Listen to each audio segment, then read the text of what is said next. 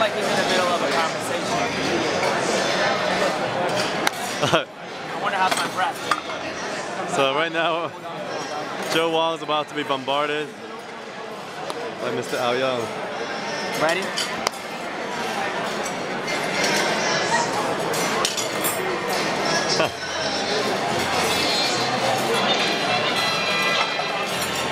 Sorry, I'm moving.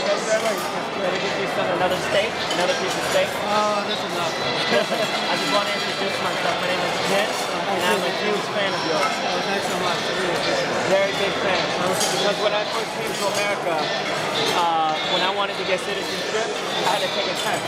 So they asked me, what's Benjamin Franklin? the reason my store keeps getting robbed? So then they asked me, what's the Second Amendment? The reason that my store keeps getting robbed? I don't know. It was very entertaining. And um, it was just really good. I don't want to like, there's not much more to say than it was really good. Perfect. Yeah. Actually, myself, I was born and raised